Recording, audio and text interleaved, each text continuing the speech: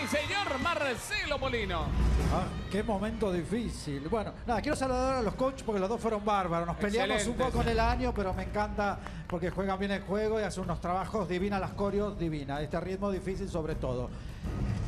Bien, eh, qué difícil. Qué difícil, ¿eh? Muy difícil.